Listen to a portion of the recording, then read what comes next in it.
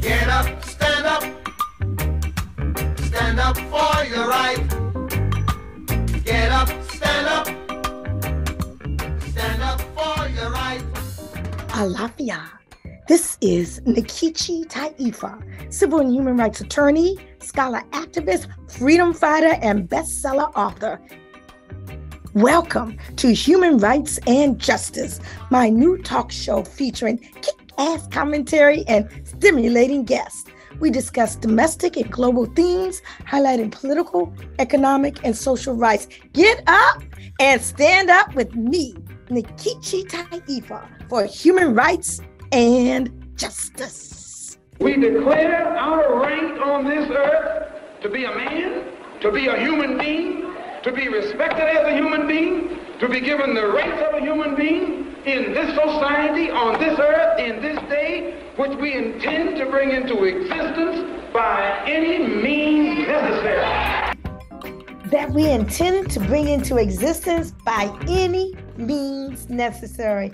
Welcome, my brothers and sisters, comrades in the struggle for justice and equity and liberation. Welcome to the 50th episode. Five, oh, the big 5 0, y'all, of human rights and justice on our radio station, WPFW Pacifica Radio. And if you did not get the chance to donate during our uh, very recent summer fundraising drive, you can donate to WPFW anytime, anywhere on the website, www.wpfwfm.org. Just click on that large donate now red button scroll down to you see human rights and justice and put in your donation you can donate via cash app at any time dollar sign WPFW. And be sure to put in that comment line that it is in uh, honor of you loving to listen to human rights and justice and include your email as well.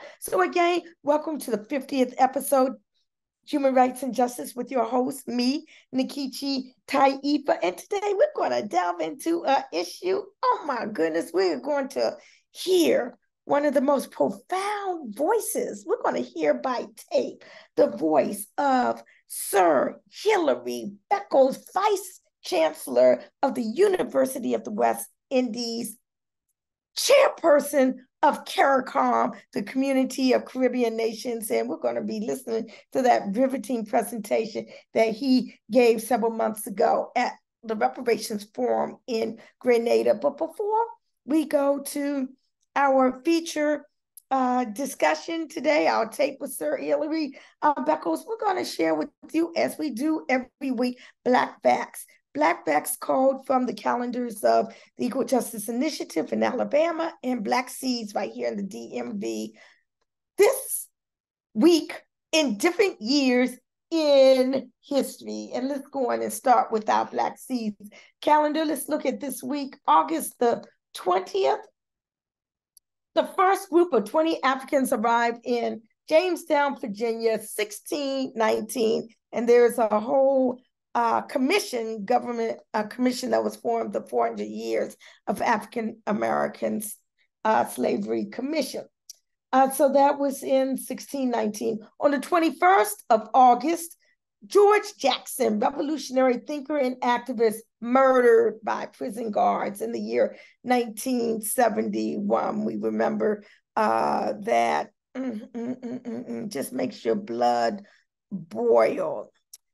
The 21st, also of August, Nat Turner's rebellion, one of the largest revolts of Africans in the United States, occurred in Virginia in the year 1831. On the 23rd of August, the National Negro Business League organized in 1900. And I think this is like what they call Black Business Week right now across the country.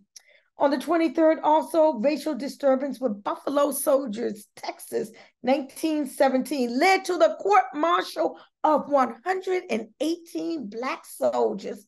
We're going to pay reparations on our soul, y'all. Mm, mm, mm, mm, mm. court martial 118 Black soldiers, Buffalo soldiers. Mm. The 23rd, also in the year 1954. Oh, I know that year. Anyway, Dr. Philip Imwali, I'm not pronouncing that correctly, but he developed a formula. He developed the formula allowing large numbers of computers to communicate at the same time, helped lead to the development of the internet. He was born in 1954. All right, we must have known each other back up there in the inner sphere, or whatever it's called. I was born in 54 also. Okay. That's not a black fact, though. Gee, that is a black fact. Okay, Nkechi Taifa, year of birth. Okay, um, okay, so that's from Black Seeds calendar, from Equal Justice Initiative calendar. Again, on the 20th of August, 1619, a Dutch ship lands in Jamestown, Virginia, carrying the first kidnapped Africans trafficked to colonial Virginia, where they were sold into enslavement. On August 21st, 1959, Arkansas, excuse me, y'all, Arkansas, my tongue has been colonized, Arkansas's Supreme Court Justice Jim Johnson urges thousands at a pro segregation rally to, quote, do what needs to be done, end of quote, to stop the integration of public schools. That was 1959, y'all. That was not nobody's ancient history. That was an Arkansas Supreme Court Justice, Lord have mercy on my soul. August 22nd, 1905, white people riot in Pittsburgh after Charles Miller, a black man, what did he do, y'all? Huh, he entered a public restaurant. All he did was go through the door, y'all. Mm, mm, mm. Lord have mercy. August 23rd, 1989, a white mob in Bensonhurst, New York, y'all remember that? Murders Yusef Hawkins, a black teenager, after accusing him of what? Of visiting a white girl. Visiting, murdered for visiting a white girl. 1989, y'all. 89. Okay, August the let me see, are we still in this week? Yeah, the 24th, 1923. White men in Jacksonville, Florida, lynched black farmhand Ben Hart for allegedly, now what was his crime, y'all? Allegedly peeping into a white woman's room. He's later exonerated, but he already was lynched. Ah, August the 25th, 1956, sticks of dynamite explode at the home of Robert Grace, a young white minister, white y'all, at Trinity Lutheran Church, Montgomery, Alabama. Now, what does this white minister do? He actively supported the Montgomery bus boycott. Mm, mm, mm, mm, mm. August 26, 1874, a mob of 400 masked men on horseback 400 y'all armed with shotguns. They kidnapped six black men from jail in Gibson County, Tennessee. And you know what they do? They lynched them. Again, who gonna pay? Who gonna pay? Who gonna pay reparations on my soul? Okay, this is Nkechi Taifa the 50th episode of Human Rights and Justice. And we're going to delve into an issue of paramount importance. We're going to hear a voice that resonates across time and space in the pursuit of reparatory justice. And I'm honored to present to you the voice of a remarkable figure whose influence reaches far and wide, none other than Sir Hilary Beckles, Vice Chancellor of the University of the West Indies and Chairperson of CARICOM Reparations Commission. And we're going to hear this in the form of a taped speech. So imagine, imagine, imagine, imagine, WPFW listeners if you will, the passionate echo of his words delivered on that powerful February 27th in the year 2023 at the Reparations Forum in Grenada. As the pages of history turn, Sir Hilary Beckles has emerged as an icon, an unwavering advocate for reparations, and a beacon of hope for a more just world. Sir Hilary Beckles, a name synonymous with the relentless pursuit of justice, brings forth a wealth of wisdom from his groundbreaking book, Britain's Black Debt, reparations for Caribbean slavery and Native genocide. But y'all know his impact transcends the written word. He stands as a bridge between academia and activism, inspiring a movement that refuses to be silenced. I want to repeat inspires a movement that refuses to be silenced. Today, as we gather around the airways of WPFW Pacifica Radio, again, yes, please donate anywhere, anytime on the website, www.wpfwfm.org. But as we gather around these airways, I'm reminded of the unity that drives us. Yeah, that Afrocentric spirit that courses through our veins. And Sir Hilary Beckles, he embodies this spirit, breathing life into the University of the West Indies. And, you know, they just had this joint master's double degree in reparatory justice, y'all. A master's degree, a double degree with the University of the West Indies and the University of Glasgow. And this partnership is a testament to the dedication of Sir Hilary Beckles. They're going to welcome their first cohort of students in September, forging a path for future leaders of the reparations movement. And, you know, I need to make a call on down there to uh, Jamaica because, you know, I'm a professor. Okay, I have academia, you know, as well. I to be able to be a guest lecturer or something along those lines. Okay, let's just say, let me just put that seed out there. Let's just stay tuned for that. So, anyway, the Glasgow Caribbean Center for Development Research was born of uh, a historic memorandum of understanding. And again, it stands as a testament to collaboration, the collaborative power of minds united in a common a cause. And th- this, this initiative is really more than a joint uh, degree, more than an economic, more than an academic endeavor. It's a beacon of hope. It's a beacon of hope, y'all, for those of us who demand justice, for those that believe that reparations are not just a dream, but what?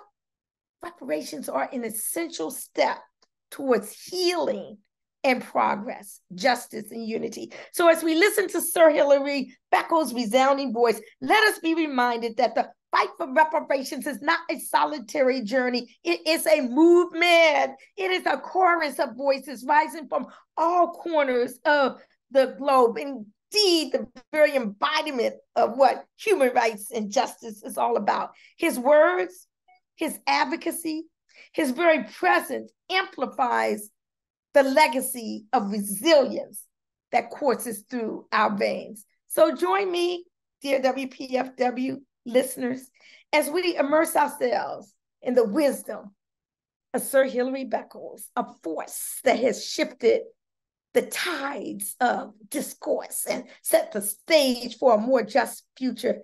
Let his words inspire us. Let his legacy guide us and let us continue the march towards what? Towards reparatory justice. Stay tuned and let's listen. Oh, the journey is about to begin. Ladies and gentlemen, my Vice Chancellor, Professor Hilary Beckles.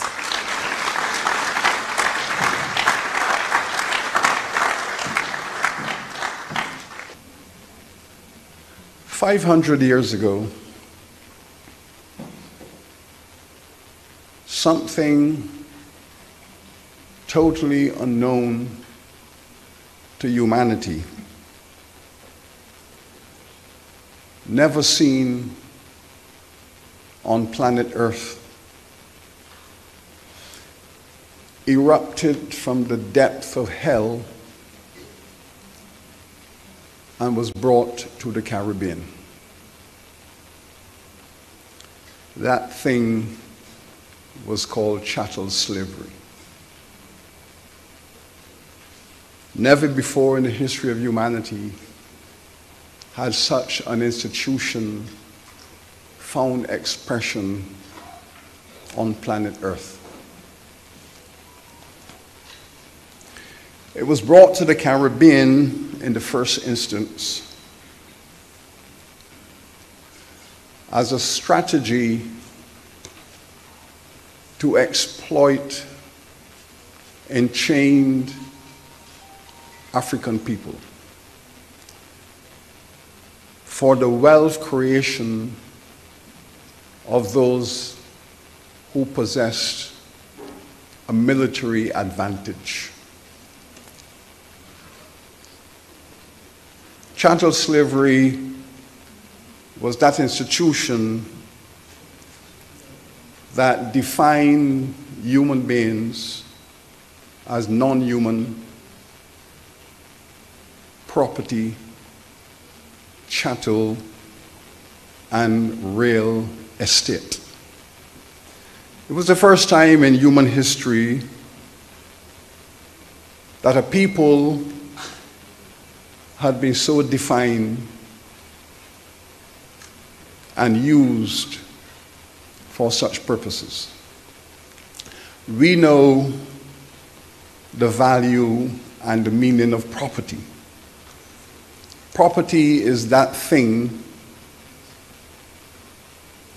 that thing which you could buy, you could sell, you could mortgage, you could lease, you could rent, you can use as currency. All of those characteristics that we know about property, you can pass it on to your children, you can use it in the transaction. All of those characteristics of property were applied to African people.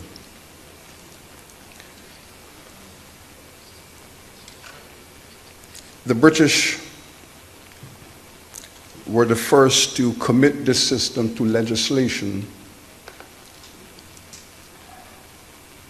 And as early as 1636, and then later in the slave code, the British Slave Code 1661, Africans were deemed to be non human.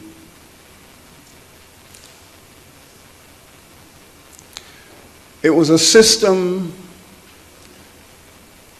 that was built by the entire British and European communities.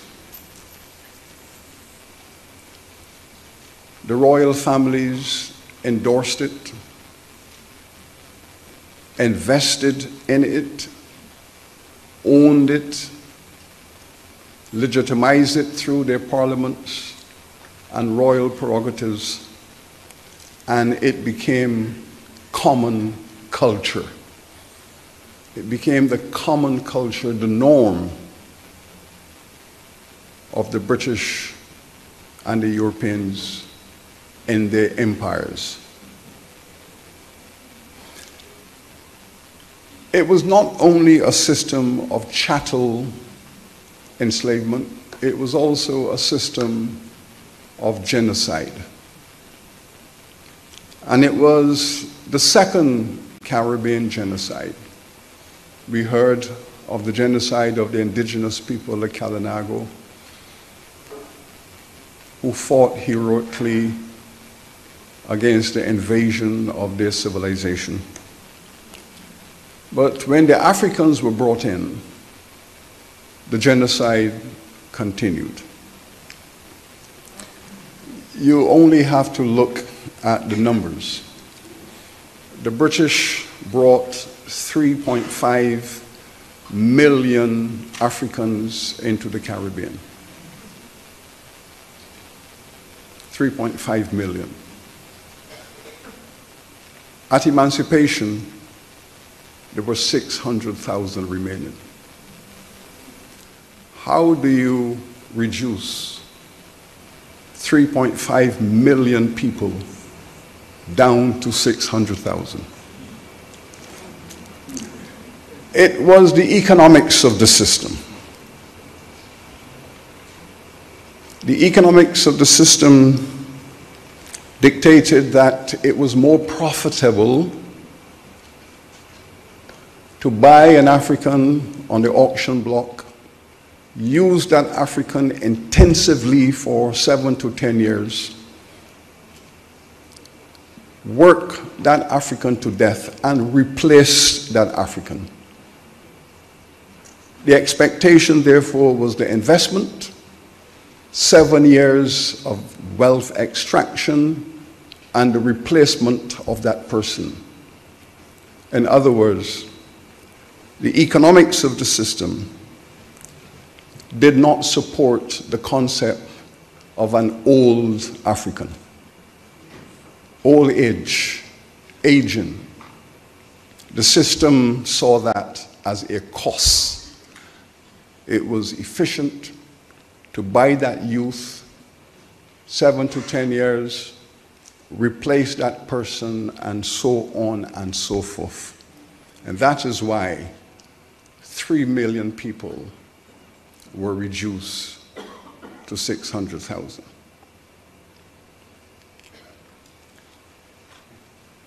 The Caribbean system was the most brutal social organization known to man. There was nowhere in the world where any people exposed to such a structure. It was indeed unique and historic. We are honored here to be hosting the Trevelyan family in the Spice Isle. The Trevelyan family were leading architects in this system. They were among the greatest beneficiaries of this system. They were among the leading advocates of this system, and Grenada was the place from which their enrichment took place.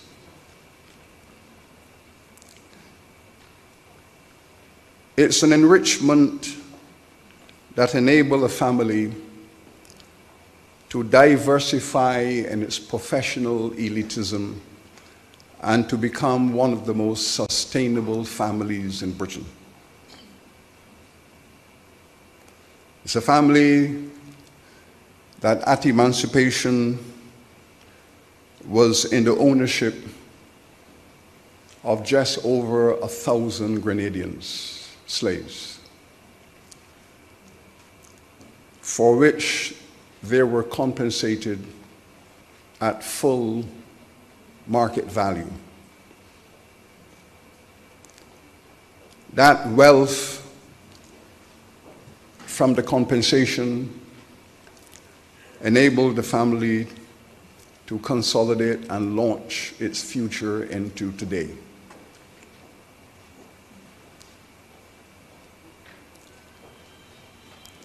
When I was a history student in Britain, one of the leading and most distinguished historians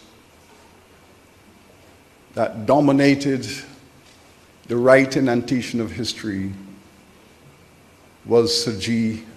Trevelyan, distinguished member of this family that spread its professional competence across multiple areas of British life.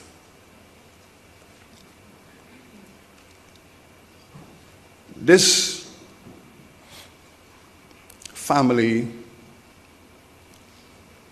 was a central part of the slavocracy of the world.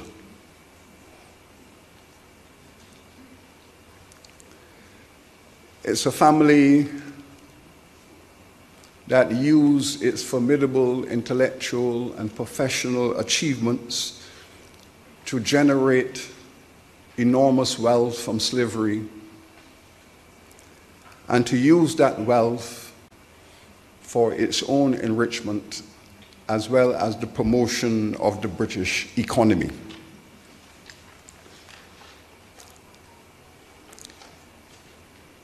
The resistance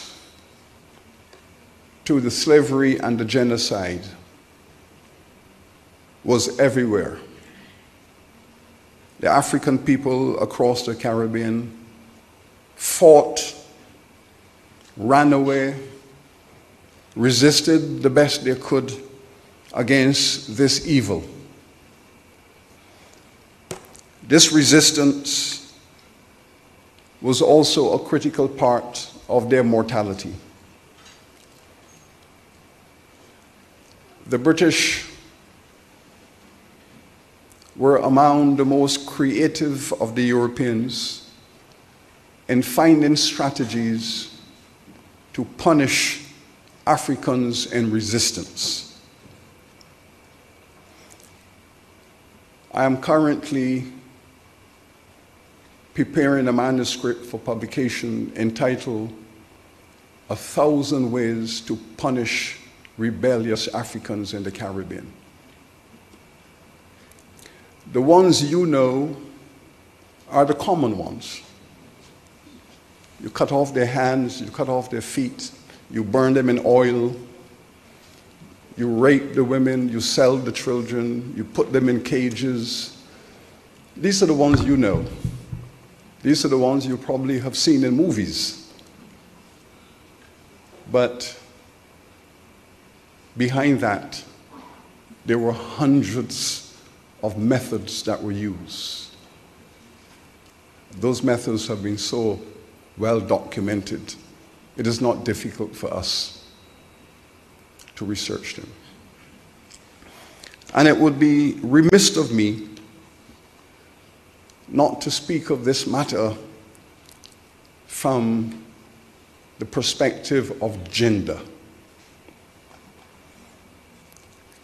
You cannot speak about slavery without speaking specifically about women, the women who were enslaved.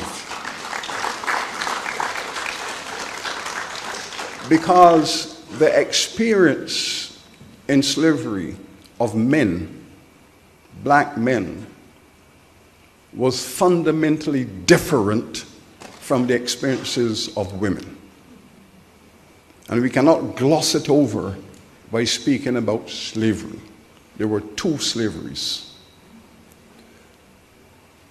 Let us look at the women so we understand where we are with this system. The system of chattel slavery was built upon the identity of the woman. The woman was the carrier of the status, the black woman was the carrier of the status of slavery. A child, a black child at birth, took its status from the mother. That was the law. If the mother was white,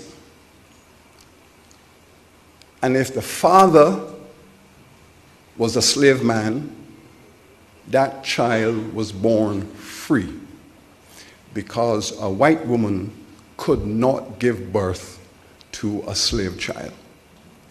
And in our archives, there are dozens and dozens of mixed race babies whose fathers were slave men and their mothers were white. Those babies were born free. The system was designed this way to enable white men to have access to all of the black women they owned. And by raping and impregnating black women, those babies were born slaves, so they could not have a claim on their father's property. You understand the law of this? So the white man protected himself from the claims of his mixed race children by legalizing that those children were born slaves and therefore could not litigate against their father's property. This system was carefully designed and structured. So a black woman, therefore, could not be raped because you cannot rape property. you cannot rape property. And the black woman was what was called perfect property. Now, what is perfect property? You buy it, you could rent it, lease it, mortgage it, sell it, and you could rape it. All of the characteristics. And importantly, when a black enslaved woman gave birth to a child that was also a slave, when that child reaches the age of 14, 15, that child had replaced the investment cost of the mother. So you go to the harbor, you buy a black woman off the auction block, bring her back to the plantation, you pay 30 pounds for her. Her child reaches 12, 13. The child is now worth 30 pounds. So the mother has replaced her cost. All other children are now what you call perfect investments. All the subsequent babies are revenue streams. It's a revenue stream. You have already got your cost back from the first child. All the other children is now what we call in economics pure profit. Pure profit. So each child was capitalizing the estate. Each child, each year, was adding to the capitalization value of the estate. And this is how the system was designed.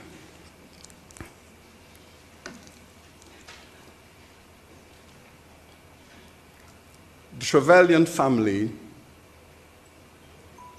has risen up a million miles to be here with us today.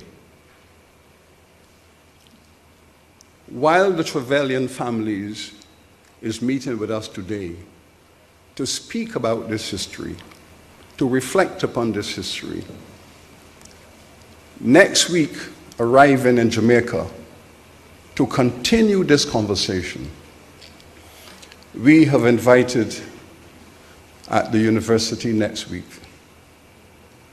a cohort of 15 African kings and queens, seven kings and eight queens, to come to the Caribbean to talk to us about what slavery did to their royal families, how they survived slavery, how they were implicated in some of the legacies of slavery. So today, we are having this conversation with British descendants of enslavers. And next week in Jamaica, this week in Jamaica, we are having that conversation with the other side of the equation. The Africans are coming to the Caribbean. The kings and queens whose societies were ravished by slavery, they're coming here to talk about what slavery meant to their African world. We are in the seventh phase of the reparations movement. From the moment chattel slavery was built in the Caribbean, the resistance started and the reparations movement began. We have looked at the various phases of the reparations movement. In the 1830s, when the Trevelyan family and other families were receiving their reparations, the enslaved people also call upon the British government for their reparations. The 1830s was the beginning of this movement where the, the emancipated people said, How about us? Is our labor, is our dignity, our humanity that was stripped from us? We are the ones to receive reparations, not the enslavers. But the enslavers dominated the British Parliament. They were the legislators. So the enslavers raided the British treasury of 20 million pounds to pay themselves. It was the largest single expenditure ever undertaken by the British Parliament to compensate the slave owners for their lost property. It was 40% of the national expenditure for that year. One act, 40% of the expenditure of a nation paid over to the enslavers. The enslaved received nothing. In fact, when the enslavers asked for their reparations, the British Parliament told them, You should be grateful that we are giving you freedom. Take your freedom and be quiet. That was the posture. And there were many people in the British Parliament, people like Buxton, there were many people in civil society, people like Clarkson, who were saying, to compensate the slave owners is a crime greater than the crime they had already committed. It's a crime to compensate them after they had committed a crime. You do not give a bank robber a reward for his robbery. Why are we compensating the slave owners? It's the enslaved who should be compensated. And that was debated in the British Parliament, and the British Parliament rejected that perspective and compensated the slave owners. So here we are now in another phase of this movement. Because we never gave up as a people. We heard reference to the role of the Rastafari. From the moment those Africans returned from Ethiopia, having gone to fought against the fascism of the Italians, and they returned to the Caribbean and began the Rastafari movement. They began to speak about African history, African culture, African dignity, and reparations. So it's been a hundred years, a hundred years of Rastafari pushing this movement. Yeah. And, and we know this, we know this to be true because we know our history. The slavery had left behind, the slavery had left behind the scars, the reduction in the love of blackness, the diminished respect for Africanness. All of these things were part of that white supremacy system that left many black people ashamed of their Africanness. It was the Rastafari who demanded the restoration of those identities. And quite frankly, began to teach us all how to respect who we are and how to fight this legacy.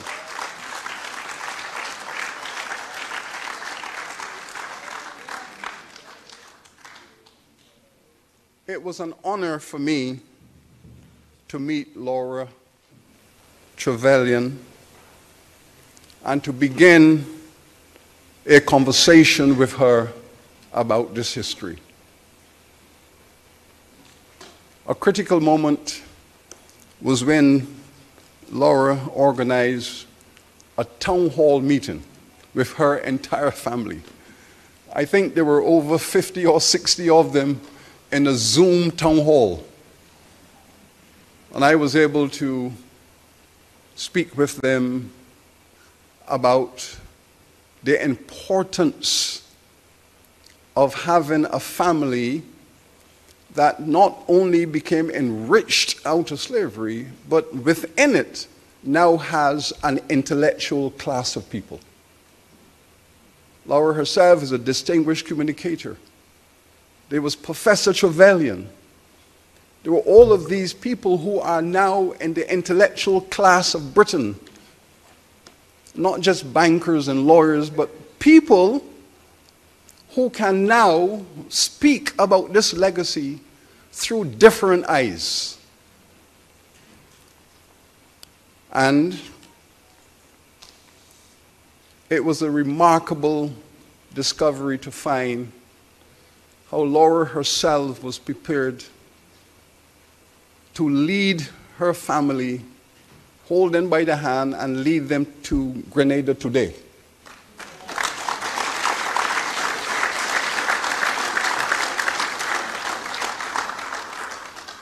These are developments that are transforming of the world. These are developments that require courage and commitment. To look into your history, your past, and to recognize that a crime has been committed, a crime that has led to your own enrichment and privilege, and to be able to say, this was wrong. It was inhumane.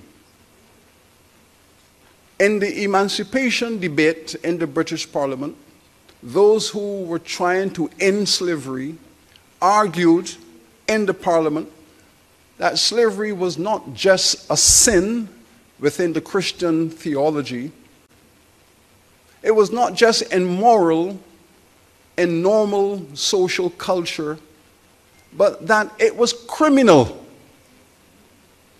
It was a criminal system to take a human being, possess their labor as your labor, have that labor without the support of that person, and use that person's labor, which you are stealing from that person, their labor and taking that labor you have stolen for yourselves and deprive that person of the fruit of their labor. Every human is entitled to the fruit of their labor. That was the argument which was used to say that slavery was a criminal system, and all of those who administer it were involved in criminal activity. But for a family to say, we wish to confront this past and we wish to use the CARICOM Reparations Commission's framework to guide the conversation where there's an apology, where there is an acknowledgement of a crime, and where there is a genuine and sincere desire to participate in an act of repair. Acts of repair will always be diversified and controversial, always will be. Because there are many who will say, How do you compensate 20 million people for 200 years of unpaid labor? And this is what Sir Arthur Lewis said in his famous book, 1939, Sir Arthur Lewis. And I want to say, Sir Arthur Lewis wrote that book, Labor in the West Indies, when he was 24 years old, in which he argued that Britain had 200 years of free labor from 20 million people in the Caribbean. How do you put a value on that? The value of that is seen in the industrialization of Britain. That's where you see it. When you drive through Birmingham City, Manchester, Liverpool, you drive through the industrial complex of Britain, that is where you see the input of 200 years of free labor from 20 million people. Trillions of pounds, trillions of pounds of value. But the reparations movement have said that Britain owed the black people of the Caribbean this debt. And we are saying that the only way this Caribbean is going to rise up and find that level of competitiveness in economic reform, economic restructuring, is when Britain acknowledges that it has a debt to the Caribbean and it must work with the governments and the private sector.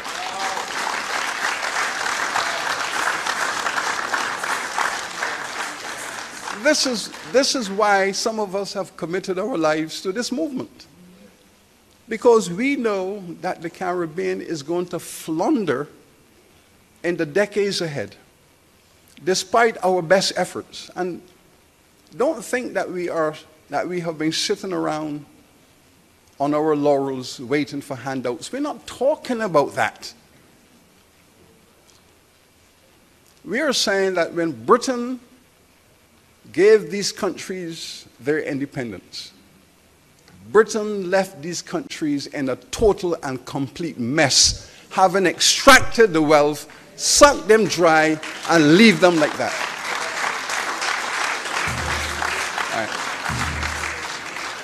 And we are expected to clean up their mess and begin the process of nation building, begin the process of developing our economies, building institutions, health, education, infrastructure. We were told you are on your own. And that is what nation building has meant to us in the Caribbean, that we are on our own, having been the site of wealth extraction. Some of the statistics are terrible. I, I have looked at Jamaica because it's the largest of our societies. 1962, they signed off, told Jamaica you can have your independence and go. And 80% of the black people could not read or write. How do you begin to build a nation if three quarters of your people cannot read or write? after you have dominated them for 300 years. And Britain took Jamaica in, 1655. And between 1655 and 1962, three quarters of the black people cannot read or write. And then you give them independence and say, go and develop. Now, I believe that we in the Caribbean have done magnificently to take that mess we inherited and build out stable democracies. We, we, have, we have helped ourselves. We have helped ourselves to achieve what we want to achieve. And I can speak of that from the point of view of the University of the West Indies. The British, we were very grateful, gave us a small grant in 1948 to set up the University of the West Indies. Fine. They gave us a grant to set up a small medical school with 33 students. Small grant, University of the West Indies, 33 medical students. And that's how we started. We were appreciative of that grant. We were appreciative of that start. But look at it now. 55,000 students scattered across the entire Caribbean. Five campuses ranked in the top 1.5% of the best universities in the world. Now,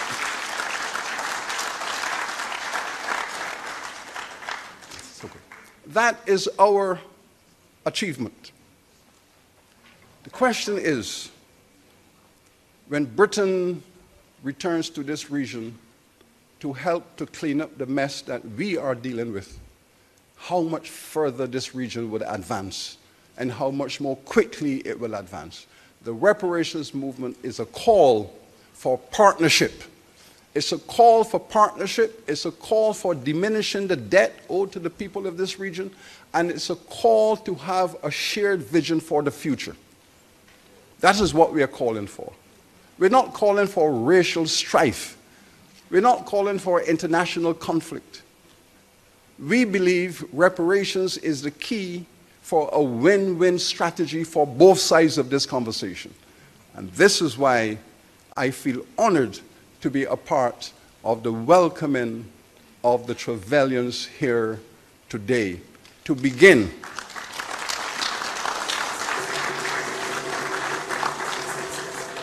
to begin in a small but powerful way this journey of conciliation, this journey of partnering, and this journey of having a shared future for everyone. We know we know the legacy of slavery here in Grenada. We know the legacy. All of us can see it. The poverty, the lack of competitive industries that require technology and science to bring them to a higher level. We know all of those issues. The legacy of colonization, we know that. And this is why we have said whatever resources are made available should go to the children of Grenada who would wish to explore their creative imaginations and be whatever they want to be. I hope that one of them will want to be an historian. But whatever they want to be, to have some resources available to them, to allow them to be who their ancestors would wish them to be, wishes to be upright, dignified, strong black people for the future. That's what we want. Now, I was at a conference in Paris in November, and the French government had said there's a national fuel shortage, so no public building no public building should be heated above 19 degrees.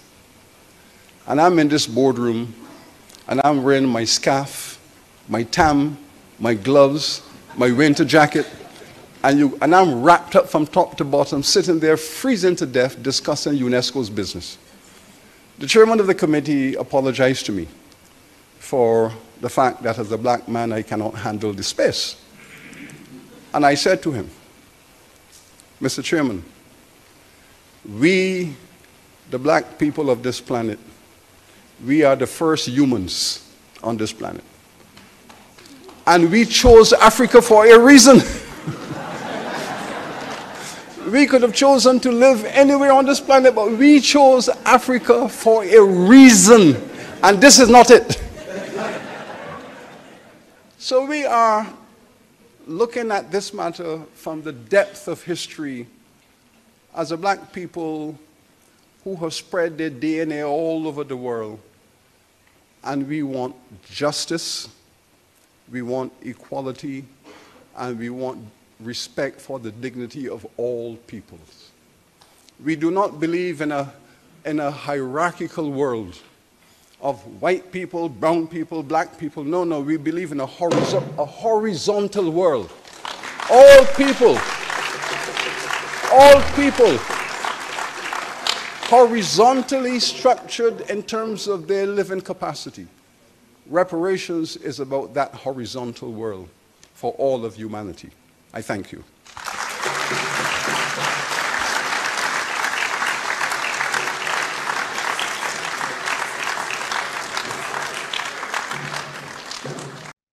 So, Pacifica Radio uh, listeners, you have just heard the words and the wisdom from Sir Hilary Beckles, Vice Chancellor of the University of the West Indies and Chairman of CARICOM, the Community of Caribbean Nations United for Reparations. This has been episode 50 of Human Rights and Justice with your host, me, attorney Nkechi Taifa. Thank you for listening either live on WPFW FM Pacifica Radio or its archives. I want to thank you and give a shout out to my WPFW engineer. And if you're listening via podcast, shout out to our podcast partners, uh, DJ Doris Jones and Camille Gardner from Canopy Collective, who engineers his broadcast up on Spotify and other places where you get your podcast.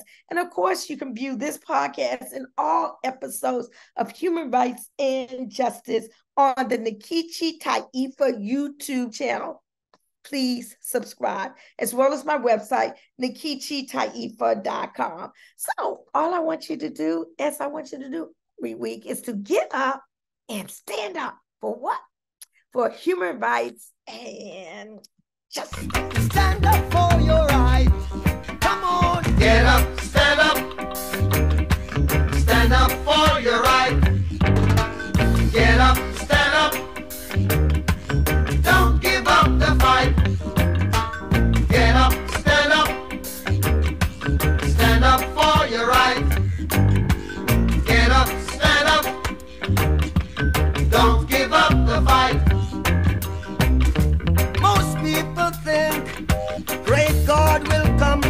sky. Take away everything and make everybody feel high. But if you know what life is worth, you will look for yours unhurt. And now you see the light.